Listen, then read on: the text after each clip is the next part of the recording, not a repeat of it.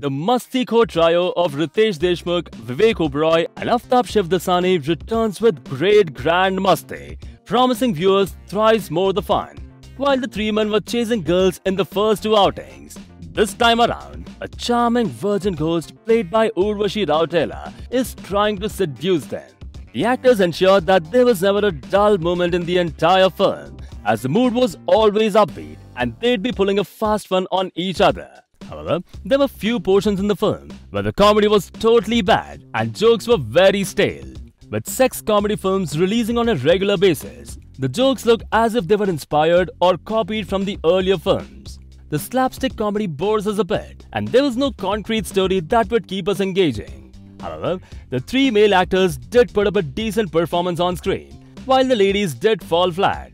The film is directed by Indra Kumar and is produced by Balaji Productions. We rate the film 2.5 stars out of 5.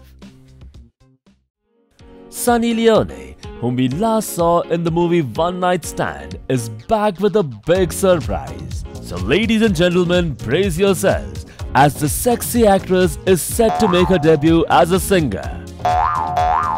The actress herself confirmed this news when she